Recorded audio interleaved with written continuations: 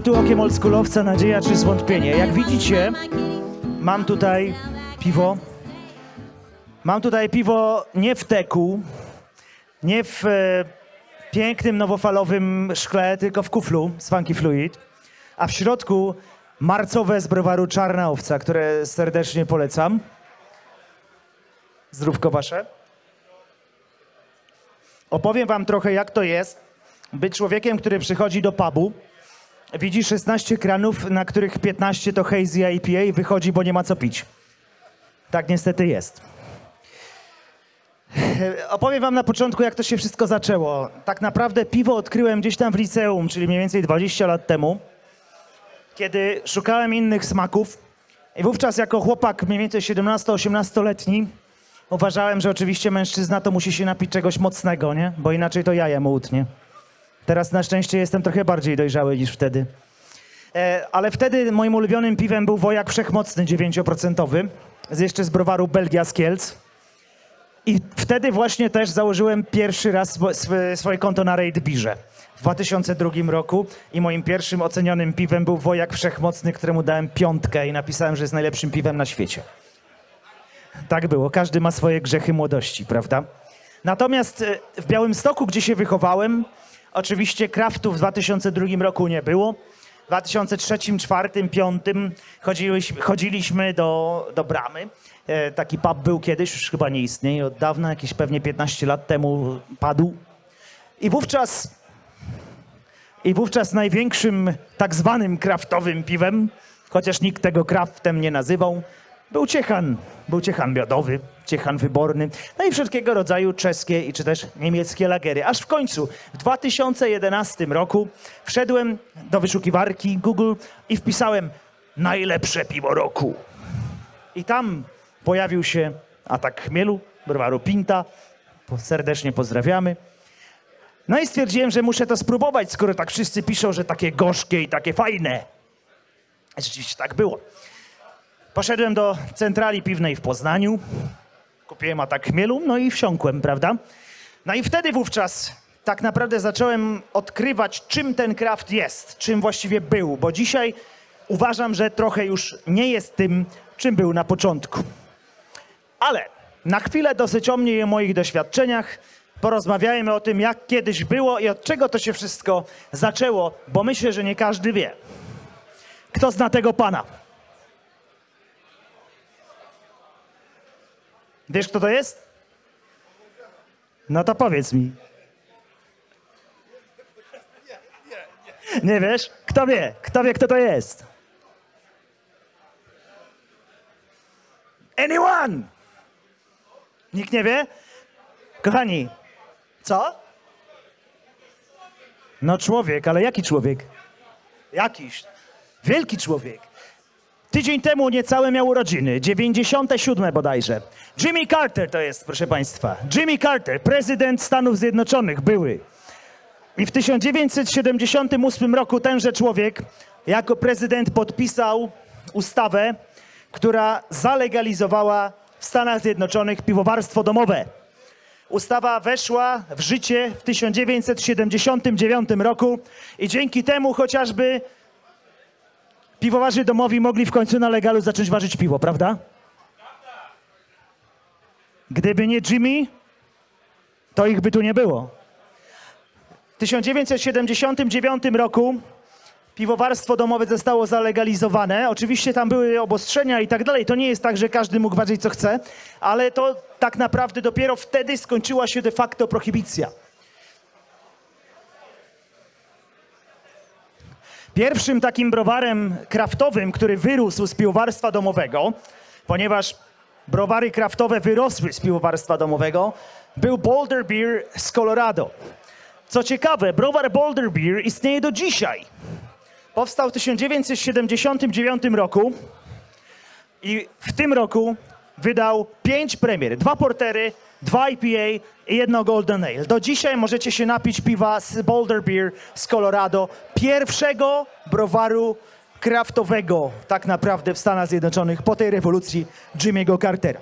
Natomiast ja wiem, że browar Boulder Beer nie jest aż tak znany jak inne browary, dlatego też Mamy kolejny slajd i tutaj rok 81 i myślę piwo, który, które piliście, każdy z was pewnie pił, a jak nie, to powinien się napić, ponieważ jest to piwo szeroko dostępne nie tylko w Stanach Zjednoczonych, ale także w Europie, czyli browar Sierra Nevada i ich Pale Ale. Pierwsze masowo produkowane piwo kraftowe z amerykańskimi chmielami, pachnące cytrusami, w którym zakochał się najpierw kontynent amerykański, a później także Europa i wszyscy inni. Kto pił Sierra Nevada Pale Ale?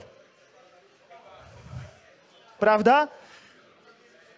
Myślę, że sporo ludzi to piło. Jeżeli ktoś nie pił Sierra Nevada Pale Ale, to musi to koniecznie nadrobić, gdyż to jest tak naprawdę pierwsze takie masowo dostępne piwo kraftowe. No bo Boulder Beer w Europie raczej, ja przynajmniej nie widziałem Boulder Beer w Poznaniu czy też w Warszawie, natomiast Sierra Nevada Pale Ale jak najbardziej.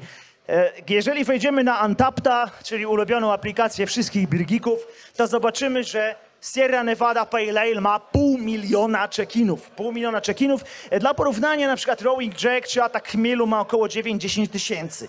Także to jest e, taka, taka różnica. No i właśnie, dlaczego ludzie w ogóle zaczynali ważyć te piwa kraftowe i dlaczego ta decyzja Jimmy'ego Cartera, prezydenta Cartera była tak ważna dla ludzi?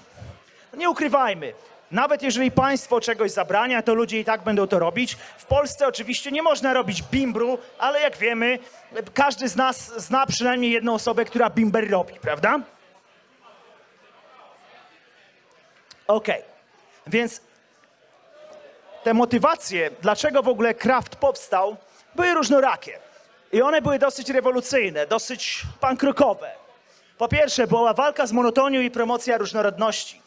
Wówczas, w 1979 roku, prawie cały rynek to był jasny lager produkowany przez największe korporacje. To jest dokładnie, co u nas było w roku 2009 mniej więcej, dopóki nie zaczęła się nasza polska rewolucja. Następna motywacja to była piwna archeologia, czyli odkrywanie dawnych, zapomnianych stylów piwa. E, chociażby, jako że ja mieszkam w Wielkopolsce, nie pochodzę z Wielkopolski, bo zawsze mówię, że jestem dumnym Podlasiakiem z Białegostoku, ale od 15 lat mieszkam w Poznaniu i jednak trochę tej e, wielkopolskości we mnie jest. Chociażby w Wielkopolsce jest to piwo grodziskie. Piwo w stylu grodziskim, które do dzisiaj gdzieś tam cały czas rezonuje między ludźmi jako motywacja. Następna rzecz, następna motywacja to była kreatywność i innowacja piwowarów, czyli bierzemy styl piwa znany wszystkim i próbujemy coś z tym zrobić. Dodajemy ciekawy dodatek, owocowy, ziołowy, inne drożdże, tak jak, prawda, w muzyce. E, Mój, jeden z moich ulubionych gitarzystów, czyli Ingwej Malmsteen, powiedział, że wszystko zaczęło się od Bacha, a reszta to są wariacje na temat Bacha. Ja trochę z Ingwem się zgadzam, tak? Czyli kiedyś był ten, powiedzmy, opus magnum i wokół tego narosły różne wariacje, prawda? I te wariacje możemy tutaj chociażby e, spróbować na wszystkich stoiskach na tym festiwalu i do tego was serdecznie zachęcam. Następna rzecz. Rzemieślnicza jakość jako przeciwieństwo koncernowej standaryzacji. Koncerny i korporacje działają w ten sposób, że produkt musi mieć stałą i powtarzalną jakość, i ta stałość i powtarzalność jest ważniejsza od wyrazistości. Co więcej, wyrazistość może być dla koncernów wadą, ponieważ wyrazistość oznacza, że ktoś będzie niezadowolony. A tak jak muzyka, która leci w największych e, stacjach radiowych, ona nie ma się wam podobać. Jak puszczacie największe radiostacje, to oni grają muzykę nie taką, żeby ci się podobała, tylko taka, żebyś nie przełączył na inną stację i żeby oni mogli puścić reklamy, które będziesz musiał usłyszeć. I to jest to samo właśnie z koncernami. Piwo koncernowe nie jest po to, żeby ci smakowało ale też nie jest po to, żeby ci nie smakowało. Ona jest po to, żeby było nijakie. Czyli żebyś napił się tego piwa, żebyś napiła się tego piwa i okej, nie? Obejrzysz sobie serial, obejrzysz sobie mecz, cokolwiek, wypijesz sobie piwo z koncernu, okej. I zapomnij, że cokolwiek piłeś. A piwo rzemieślnicze od początku było takie, że ono miało sprawić że zaczniesz się zastanawiać, co w ten swój przełyk ładujesz tak naprawdę. Ono miało być ostre, ono miało być twarde, ono miało mieć ostre krawędzie, ono miało drapać, ono miało harczeć, ono miało być jak taka piła łańcuchowa, która ładuje ci w gardło i mówisz, kurde, to mnie boli, ale to jest fajne. To jest takie jak na przykład czekolada z chili, prawda? Jak jesz czekoladę z chili, pierwszy raz w życiu, bierzesz to i mówisz, kurde, to mnie pali, ale to jest fajne. I na tym polegał kiedyś Kraft. Chęć zmiany na lepsze, czyli ludzie wiedzieli, że 90% rynku to jest ten jasny eurolager z koncernów, prawda? Ale czy my musimy się zadowalać tym, co jest? Czy nie możemy chcieć czegoś więcej? Lepszej jakości? Właśnie te, tego takiego drapania? No i nowy rynek. To jest rzecz, która akurat jest e, jakby w oddzielnej szufladce niż to, co mówiłem wcześniej, ponieważ różnej maści biznesmeni, przedsiębiorcy odkryli, że jest to też znakomita okazja, żeby zarobić kasę. Bo tak naprawdę każdy z Was tutaj uwielbia to piwo rzemieślnicze,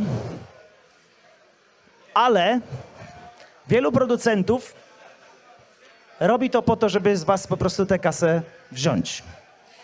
I nie ma w tym nic złego oczywiście, bo nie ma nic złego w robieniu pieniędzy, dopóki jest to uczciwe. No właśnie, Kraft was punk. Kiedyś. Kiedyś Kraft był punkowy, Kraft był garażowy, Kraft był ostry. Był buntem przeciwko bezdusznym koncernom, które robiły jeden standaryzowany, zuniformizowany, zhomoge- zhomogenizowany produkt, który tak naprawdę był dokładnie tym samym pod różnymi etykietami. Nie mam zamiaru tutaj wymieniać oczywiście żadnych marek, bo nie chcę mieć kłopotów prawnych, ale wszyscy wiemy, że... Co tam, Łukaszu? Zdróweczko. Jeżeli, e, jeżeli weźmiecie jedno, drugie, trzecie, czwarte piwo koncernowe w stylu jasny lager, to w ślepym teście nie będziecie w stanie ich rozpoznać, ponieważ one mają smakować dokładnie tak samo. One mają wam nie przeszkadzać. Kraft kiedyś był też sposobem na promocję lokalnych wytwórców. I nie mówię tutaj tylko o lokalnych browarach, bo w Stanach Zjednoczonych to działa bardziej niż w Polsce, chociaż oczywiście w Polsce i także tutaj jest sporo browarów, które głównie sprzedają wokół komina. Chociażby, chociażby paszczukowe tutaj, prawda, mam bednary. Są browary, które sprzedają głównie wokół komina. To jest super. I to była promocja lokalnych wytwórców, ale nie chodziło tylko o, o lokalnych wytwórców piwa, ale także o lokalnych wytwórców produktów, z których się piwo robi czyli lokalnych chmielarzy, tak? Na przykład w Polsce mamy znakomitych chmielarzy w województwie lubelskim, chociażby Pawła Piłata z Polish Hops i innych. I kiedyś to by była moc. Zrobisz piwo na polskim chmielu od gościa, którego znasz z takiego festiwalu jak ten, z którym przybijasz piątkę, z którym pijesz piwo, bierzesz od niego chmiel, robisz piwo z nim w kooperacji, razem ściskacie się na misia i wypuszczacie to piwo na rynek. I to jest prawdziwy kraft, a właściwie był. Tak? Twórca, artysta, rzemieślnik, ale właśnie też artysta, czyli człowiek, który ma jakąś wizję, wizjoner, piwowar, był w centrum tego wszystkiego. Dziś, tak samo jak chociażby w branży motoryzacyjnej, rządzą tym księgowi.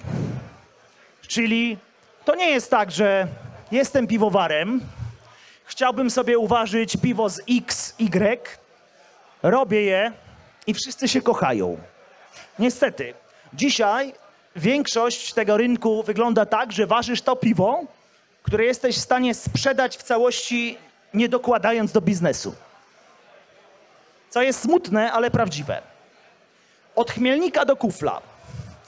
Mam nadzieję, że znacie taką zasadę panującą w gastronomii, czyli od farmy do talerza, prawda? Farm to plate, farm to plate.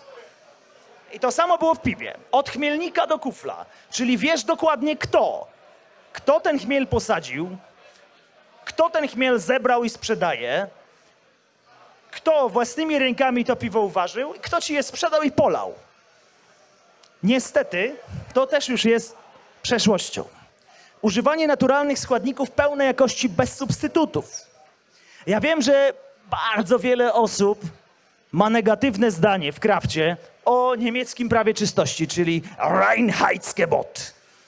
Ale ja im jestem starszy, tym bardziej je cenię. Nie wiem jak wy. Dlaczego? Dlatego, że to prawo czystości niemieckie nie powstało tak naprawdę po to, żeby ograniczać pi- piwowarów, ale właśnie po to, żeby do piwa nie dodawać byle czego. Dzisiaj zamiast wody z łodu chmielu i drożdży dodaje się do tego piwa bardzo wiele rzeczy, które nie do końca są naturalne i pożądane. I oczywiście sam nie jestem tutaj aniołem, ponieważ piwa z browaru, który reprezentuję, również niektóre są z aromatami i innymi dodatkami. To nie jest żaden tutaj virtue signaling, sam się do tego przyznaję. Szorstki, ostry, gryzący. Taki był kraft, kiedy jesteś przyzwyczajony do piwa koncernowego, które, tak jak mówiłem wcześniej, tak jak muzyka radiowa, ma przede wszystkim nie przeszkadzać. Gdy pierwszy raz spróbowałeś tego ataku chmielu, gdy pierwszy raz spróbowałeś tego Rolling Jacka, gdy pierwszy raz spróbowałeś torfowej ipy albo czegoś leżakowanego w beczce Pola Frojgu, to cię tam aż zgrzytało w gardle. I mówiłeś, Jezu, jak to boli! Ale to jest fajne, bo boli. I takie to kiedyś było. Kraft kiedyś był dla tych, którzy się odważali przekraczać granice strefy komfortu, a nie dla tych, którzy chcieli mieć de facto ładny, wygładzony, zaprojektowany w biurach korporacji produkt, który jest dokładnie, jeżeli chodzi o misję i otoczkę, taki sam jak piwo koncernowe, tylko jest w innym stylu. IPA is the new lager. IPA is the new lager. Piwna Zwrotnica, jeden z najwspanialszych polskich blogów. Jeżeli jesteście tutaj, to pozdrawiam. Nie widziałem was dzisiaj. Co roku prowadzi statystykę na temat nowych piw wypuszczanych przez polskie browary. W 2016 roku IPA stanowiło jedną piątą wszystkich premier w Polsce. W 2017 było to 23,2%, później 26,3%, 31%, a w 2020 roku była to już ponad 1 trzecia wszystkich premier w Polsce. IPA w minionym roku była więcej niż 1 trzecia premier. Po, powtarzam, liczba premier, nie mówię o wolumenie, bo jeżeli przyjdziecie na jedno, drugie, trzecie, czwarte stoisko piwne tutaj i zapytacie wolumenowo, ile tego IPA ważycie, to zobaczycie, że tak naprawdę wolumenowo to jest o wiele, wiele, wiele więcej. Te statystyki nie biorą pod uwagę wolumenu. Tak jak koncerny ważą niesamowity wolumen lagera, eurolagera, tak wiele browarów kraftowych waży niesamowity wolumen IPA. W związku z tym, oczywiście możemy mówić, że IPA statystycznie i średnio ma więcej do zaoferowania niż lager. Smakowo, aromatycznie, w jakikolwiek inny sposób, prawda?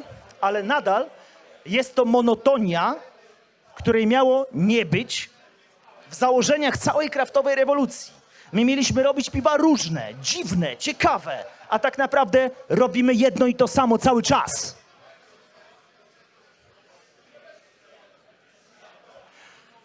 Kolejną rzeczą jest to, że w Polsce, przez to, że ja reprezentuję pokolenie wychowane jeszcze za czasów PRL-u, wielu z Was też, natomiast co roku, każdego roku na rynek wkracza kolejny rocznik nowych osiemnastolatków, wychowanych już w tak zwanej nowoczesności, czy też po nowoczesności, w postmodernistycznym postkapitalizmie, kiedy tak naprawdę my jesteśmy obecnie uzależnieni od cukru, słodzików i wszelkiej maści sztucznego pseudojedzenia. Co roku, każdego roku nowi 18-latkowie wchodzą na rynek konsumenci. Coraz większy udział ludzi wychowanych na Coca-Coli, wychowanych na słodzikach, co więcej, chłonących jak gąbka mody, które przychodzą z Ameryki oraz z zachodniej Europy. Co ciekawe, nie wiem czy wiecie, ta sama czekolada tej samej firmy, wypuszczana na rynek amerykański, brytyjski i wschodnio-środkowoeuropejski, jest inna. To znaczy ta wypuszczana na rynek amerykański czy brytyjski jest o wiele słodsza, ma więcej cukru niż dokładnie ta sama czekolada tej samej firmy wypuszczana w Polsce. I teraz tak, jako że jesteśmy otwarci na świat, próbujemy tych rzeczy amerykańskich, zachodnioeuropejskich, młodzi ludzie zwłaszcza, oni uważają, że to już jest normalne, czyli ten poziom cukru, ten poziom cukru amerykański staje się poziomem cukru polskim. I przez to ludzie wymagają tej niesamowitej słodyczy, która dla ludzi, którzy na są wychowani bez cukru, ja na byłem wychowany bez cukru, od, od małego miałem herbatę niesłodzoną, później kawy nigdy nie słodziłem i tak dalej. Dla mnie nawet średnio słodkie rzeczy są ekstremalnie słodkie, tak? Więc na przykład jeżeli, jeżeli jesteście na diecie keto albo generalnie nie używacie cukru za dużo, to większość piw na festiwalu będzie dla was za słodka. Tak? Kraftowy marketing poza tym nastawiony jest na młodego człowieka z dużego miasta. I to jest normalne, to jest jakby usprawiedliwione, ponieważ większość konsumentów kraftu to są ludzie mniej więcej 21-40 z 6-7 największych miast. Raczej marketingu kraftu nie robi się na prowincji. A ci ludzie jak najbardziej są właśnie wychowani na cukrze. Dzisiaj kraft jest jednym z y, modnych elementów bycia młodym człowiekiem z dużego miasta. Nie jest już twardym, ostrym, chrzęszczącym, rewolucyjnym e, ciosem w twarz, tylko jest bardziej takim miodem albo laktozą, która spływa ci po klatce piersiowej. Prawda? Dlatego też te pierwotne założenia rewolucji zostały dosyć zatracone. Tym samym mamy do czynienia z dobrze znanym także z muzyki i popkultury konfliktem starych punkowców, którzy zostali konserwatystami, jak chociażby e, e, Jerry Bluffia, prawda, e, którzy e, mają konflikt z młodymi, którzy nie rozumieją tych starych, e, starych e, zasad, które rządziły kiedyś i przeciw czemu się buntowali. Tak naprawdę to, co kiedyś było buntem, dziś się staje mainstreamem. Troszkę. I tak naprawdę dziś bycie konserwatystą jest de facto bycie rewolucjonistą. Jak powiedział niegdyś Karol Marx przed samą swoją śmiercią, jedno, co wiem na pewno, nie jestem marksistą. Tak powiedział do, e, w, w liście, e, który napisał właśnie na temat młodych marksistów w 1882 roku. Kraft was punk, now it's pop. Czyli to, co kiedyś było rewolucyjne, dziś stało się mainstreamem. Na pierwszym miejscu został postawiony biznes. Waży się piwa, które się przede wszystkim sprzedają, a nie te, które mają gryźć, nie te, które mają chrzęścić. Większość browarów nastawia się na najmodniejsze style, czyli te, które łatwo się sprzedadzą i które masowo mają największy dobry odbiór. Czyli piwa słodkie, piwa z owocami oraz IPA w stylu New England. Porzucenie jakiejkolwiek misji i ideologii rewolucyjnej, czyli dzisiaj już kraft jako zjawisko nie jest rewolucją. Dzisiaj kraft jako zjawisko jest wyłącznie biznesem. Popularyzacja łatwiejszych w obsłudze zamienników, czyli aromatów i słodzików. Większość z piw, które pijecie, nigdy w życiu nie widziały kokosa, orzecha ani owoców. Większość z nich widziały jedynie aromaty. Oczywiście nie ma nic złego w aromatach, ale należy o tym wiedzieć i uczciwie informować swoich klientów.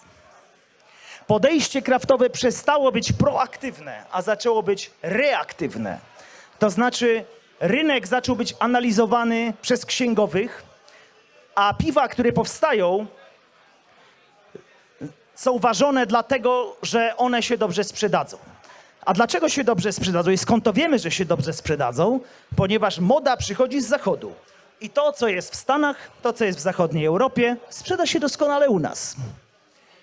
Mało jest takiego proaktywnego podejścia, czyli na przykład zrobimy piwo arcyciekawe, która połowa, które połowa ludzi w ogóle nie będzie chciała pić, bo jest właśnie za bardzo chrzęszczące, za bardzo gryzie w podniebienie i tak dalej. Bo po prostu to się nie sprzeda. Wygładzone krawędzie, czyli wygładzone krawędzie były charakterystyką koncernowego lagera kiedyś. I ten kraft, który w latach 80. w Stanach i później u nas, 30 lat później powstał, miał gryźć i gryzł i był piękny. Dzisiaj musimy wygładzać te krawędzie, żeby to piwo sprzedać. Bo jeżeli nie wygładzimy tych krawędzi, to zostaniemy z paletami niesprzedanego piwa na magazynie. A tego nikt nie chce. Dlaczego? Dlatego, że produkt niszowy, jakim był kiedyś Kraft, stał się produktem masowym ze wszystkimi jego wadami. To jest dokładnie tak samo jak ze sztuką. Jeżeli przestajesz być artystą, który tworzy w piwnicy i sprzedaje rzeczy dla koneserów, a chcesz cały świat podbić, to niestety musisz stać się bardziej popowy. Jeżeli chcesz, chcesz stać się bardziej popowy, to niestety musisz zacząć grać popowe reguły rynku. Następnie 2019 rok przychodzi. Ostatni festiwal przed dzisiejszym w Warszawie chociażby. Tutaj dwa lata temu był. Miał być w 2020 roku kolejny festiwal. Niestety go nie było, ponieważ nadeszła pandemia, która jeszcze bardziej zaostrzyła wszystkie te zjawiska, o których mówiłem dotychczas. O wpływie jednak pandemii na kraft opowie Michał Stemplowski o godzinie 19. E, I tutaj jak najbardziej zapraszam na wystąpienie Michała. Dlatego też tylko pokrótce przez minutkę powiem, w jaki sposób to miało wpływ. Po pierwsze, zmiana kawał, kanałów sprzedaży. Do pandemii tak naprawdę bardzo mało kraftu była sprzedawana przez internet, ponieważ niestety w Polsce mamy chore prawo, które de facto zabrania sprzedaży alkoholu przez internet. Na szczęście ludzie i ludzkie działanie było silniejsze niż państwowe przepisy i w czasie pandemii zaczęły browary sprzedawać piwo przez internet, ryzykując niemało, ale było to dla niektórych browarów jedyne, jedyna szansa, żeby przetrwać. Niestety, wielu z Was to powie, że przez pandemię też mniej pieniędzy zostawało w Waszych portfelach, ponieważ ludzie niestety potracili pracę, potracili zlecenia. Branże typu branża eventowa, branża gastronomiczna i inne nagle przestały być opłacalne, więc ludzie mieli mniej pieniędzy. Co więcej, znam nawet blogerów piwnych z Polski, którzy na swoim Instagramie pisali, że w sumie to po co ja mam iść do pubu i wydawać 20 zł na piwo, jak mogę pójść do żabki i kupić za piątkę. Chyba nie o to walczyliśmy, co? Michał? Nie? Nie o to walczyliśmy, nie? No właśnie. Ostra ofensywa dyskontów i marketów. Jeżeli śledzicie polskie grupy piwne w internecie, na Facebooku, typu Je Piwka, Wolny Browar, pozdrawiam wszystkich oczywiście, zobaczycie, zobaczycie, że bardzo wiele, jak nie wszystkie posty w ciągu ostatniego roku, jeżeli ktoś pisze o polskim piwie, to są piwa, które kupił w dyskoncie albo w markecie. Polskie sklepy specjalistyczne naprawdę mają w tej chwili bardzo, bardzo ciężko przez tą ofensywę marketów i dyskontów. Ja oczywiście jako rewolucjonista każdego zachęcam, żeby robić zakupy w lokalnym sklepie specjalistycznym, bo oczywiście możecie dzisiaj kupić piwo kraftowe za 8 zł w dyskoncie, ale jak zabraknie wam sklepów specjalistycznych, to bardzo szybko zobaczycie, że w tych dyskontach będziecie mieli cały czas jedno i to samo i de facto wrócimy do punktu wyjścia, do 1977 roku. Bankructwa i ograniczenie działalności. Wiele browarów, pubów, sklepów niestety COVID nie oszczędził. Chociażby tutaj na festiwalu mieliśmy kiedyś browar Alternatywa ze Śląska. Dziś już nie ma browaru Alternatywa. Wiele innych browarów padło. Jedni głośniej, drudzy bardziej po cichu.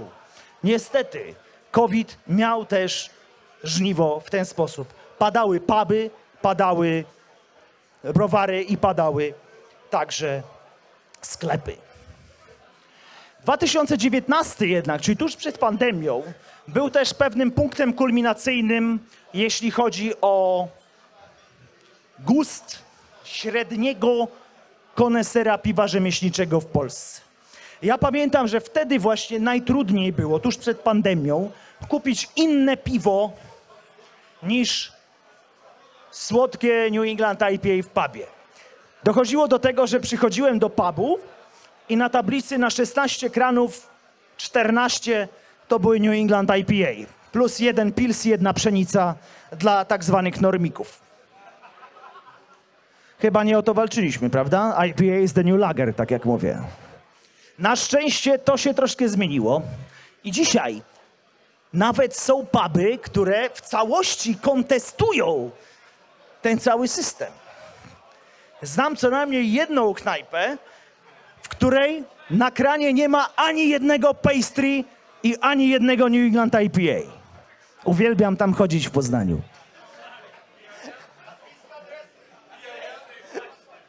Zapraszam, zapraszam, możecie do mnie pisać, pokażę wam, nawet się z wami tam napiję. Powrót West Coastów. Słuchajcie, w 2018-2019 roku, jak pisałem w internecie, że napiłbym się dobrego, wytrawnego West Coasta, no to wszyscy komentowali właśnie tak jak wcześniej, OK boomer, nie? A nagle się okazało, że jednak ludzie chcą tego West Coasta. I tak jak czytam na przykład wypowiedzi właścicieli sklepów też, że Birgicy podzielili się na pół. Wy się podzieliliście na pół. Jedna połówka cały czas chce nową IPę, mocniej chmieloną. 40, 50, 60 gramów na litr, cokolwiek. Ale druga grupa ma właśnie tej IPy dosyć. Tej słodkiej, niegoryczkowej, jednostajnej, tej samej IPy. Dosyć. Ludzie nie chcą już pić tego samego piwa pod 358 etykietami z różnych browarów. Na szczęście powoli zaczyna się robić to, co w Stanach już było 30 lat temu, czyli regionalizacja kraftu. Ja, jako że mieszkam w Poznaniu, na szczęście widzę już to, że u nas w Wielkopolsce ludzie tęsknią za grodziskim. I jak przychodzę na przykład do domu piwa w Poznaniu i ludzie pytają, a czy jest to grodziskie szału piw? Na przykład, tak? Ja nie wierzę w to, że ludzie pytają o grodziskie w Warszawie, czy w Białymstoku, czy w Rzeszowie, czy w Katowicach. Jedno grodziskie na festiwalu, tak? Dlaczego? Dwa koźlaki, jedno grodziskie, widzisz? A za rok będziesz miał 10 koźlaków i 5 grodziskich. Mam nadzieję. Dlaczego? Dlatego, że Dlatego, że tytułem tego wystąpienia jest nadzieja czy zwątpienie. A ja jestem romantykiem, ja jestem małym księciem i wciąż mówię, że nadzieja, nadzieja umiera ostatnia i wierzę w to, że będzie więcej koźlaków, więcej Black IPA, więcej grodziskich, więcej historycznych stylów. Dokładnie tak będzie. Podział konsumentów na dwie grupy. Haze Boys, czyli właśnie ludzie, którzy cały czas chcą nowych piw. W cudzysłowie nowych, czyli tej samej IPy, prawda, Citra Mozaik, Mozaik Citra pod 40 nowymi etykietami. Oraz druga grupa, która właśnie już ma dosyć tej IPy, bo widzi, że ta nowa IPA to jest de facto to samo, co było z Eurolagerem. I to jest właśnie ta nadzieja. Jaka jest przyszłość? Pierwsza rzecz. Na zachodzie, w Stanach, jest rzecz o wiele gorsza niż słodkie ipy, czyli Fruited Hard Seltzer. Na szczęście w Polsce obostrzenia prawne troszkę to blokują. Coś, co nawet nie jest w stanie nazywać się piwem, czyli mieszanka spirytusu czy też innego alkoholu z pulpą owocową, z wodą gazowaną, jakkolwiek, serwowana w pięknych, kolorowych puszeczkach. De facto takie drinki. W Polsce oczywiście czegoś takiego póki co zrobić nie można, aczkolwiek już wiele browarów chciało i próbowało. W Stanach jest to wielki hit. Rozdwojenie rynku to jest to, o czym mówiłem. Czyli połowa, większość, większość, więcej niż połowa ludzi jednak cały czas chce pić ipki, prawda? Natomiast jest ta część, która jest w tej chwili niezaspokojona. Jest to ta nisza, która chce po pierwsze piw regionalnych, takich jak grodziskie, piw mało ważonych, takich jak Black IPA, czysty stout bez dodatków, mild, style brytyjskie, style belgijskie. Artur Napiórkowski, nie wiem czy gdzieś tutaj jest e, wśród nas, w każdym razie napisał świetny artykuł do Piwowara pod tytułem To nie Belgia jest nudna, ty jesteś nudny. Znakomity tytuł i tak też uważam. Nie ma nudnych stylów. To ludzie są e, przyzwyczajeni do tego, żeby pić to, co zostało nowym lagerem.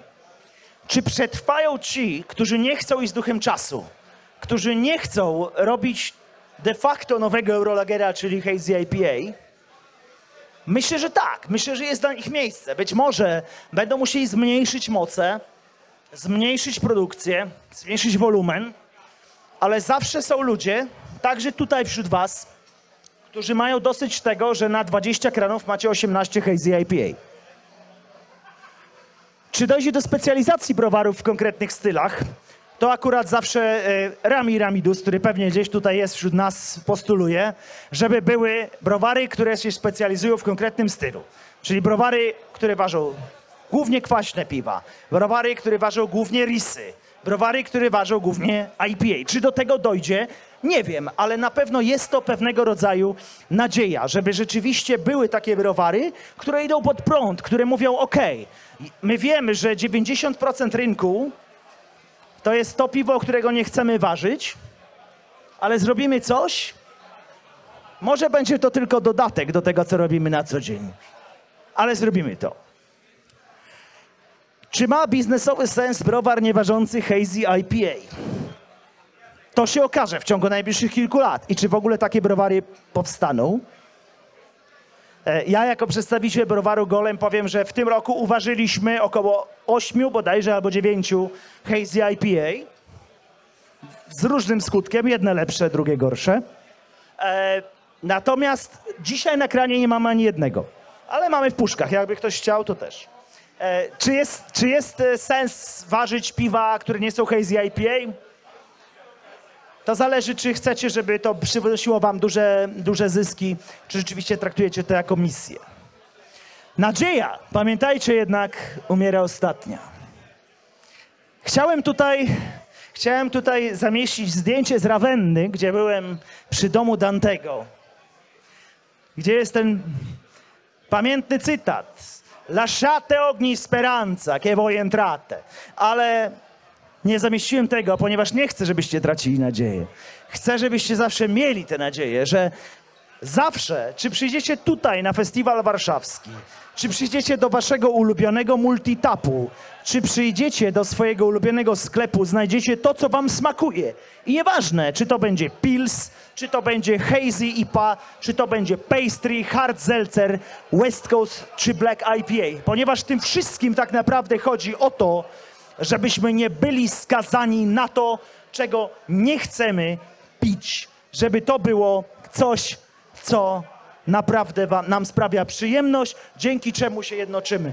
I to, że tutaj po dwóch latach w Warszawie znów się spotykamy, znów możemy się napić razem, przytulić i powiedzieć, że okej, jakieś piwo nam smakuje, jakieś nam nie smakuje, ale to, jaką my społeczność tworzymy wszyscy, te setki, tysiące ludzi, przecież tutaj was co roku jest prawie 20 tysięcy, 20 tysięcy koneserów piwnego kraftu, tworzycie coś pięknego. Kochajcie się i pijcie dobre piwo, takie, jakie wam smakuje. Dzięki bardzo.